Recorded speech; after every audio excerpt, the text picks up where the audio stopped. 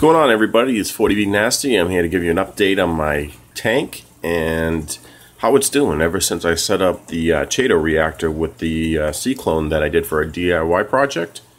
And I gotta say that my phosphates have gone to pretty much zero. My green hair algae is dying off by the minute and it's doing great. But there's also a problem with that and that's not enough nutrients in my tank anymore. You can see my rosses are closed up. And whatever this purple and green one you want to call is. But I still do have the green hair algae, but just most of it's uh, falling apart. So now I'm going to start having to feed my corals a lot more. And that's with um, Reef-Roids and a little bit of coral gumbo. Um, I even lost, I don't know if I lost it yet, but one of the heads on my gold torch, he hasn't come out in like four days. Tried adjusting it, but it's not working. But I'd like to give a shout out to my boys out in Ohio, Eli, Adam, and Tony. Um, they're new subscribers and uh, also great friends.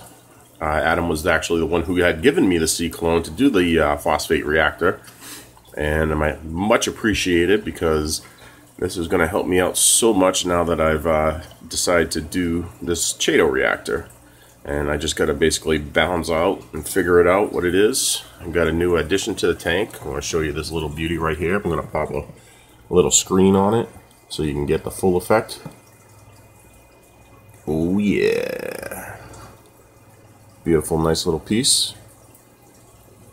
And this little guy up here my first Acan. I don't know what they call it, enchilada or something like that. but it's cool. And one thing I also I haven't talked about yet, and that is I never told you about how I changed my toilet bowl in the back, which is basically my feeding station for my mandarin, because that thing was ugly. So what I did was I ended up taking a hair wax container from J. Crew, and it was perfect. I ended up cutting the hole in the middle, put the net for uh, the screen on the top. It's got a nice screw cap. It's brown, so the thing is, is all those baby brine shrimp, when they get dumped down that tube, they're gonna go looking up because they're looking for light.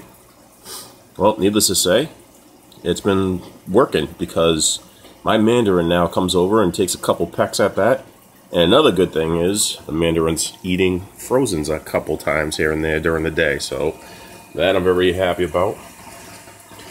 But there's my Chaeto reactor. Thing's been running up 24-7. So the other day I did end up having my sea hare removed because the dum dum decided to go inside the air intake for the um, for the pump and he got stuck. I mean, like real stuck. And that guy ended up started shooting purple ink out and everything. I was like, oh no! So I had to shut the filter down as quick as possible, and uh, basically you get that cleaned up. There is a false accusation about them, and they say that it's going to poison your fish and kill them. Well, needless to say, it's not going to kill them it's just going to cloud up your tank. Get it cleaned up, that's all. One thing I'd like to say about that, because I've heard so many stories about it, but I actually did read online, that it really does nothing. It's basically just a flavor for them to uh, protect themselves. But I'm to give you a run through on my tank. You can see how it's doing. And my other gold torch. Looking a little thin, that's for sure.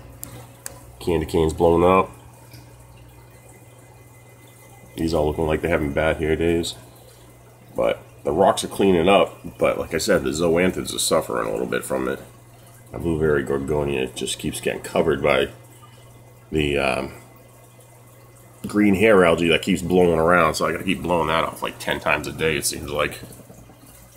But everybody's doing great. Especially that beautiful gold torch I got now.